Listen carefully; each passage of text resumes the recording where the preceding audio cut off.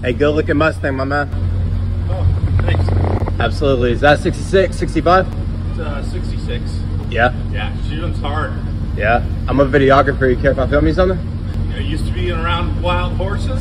Sure, we can make that work.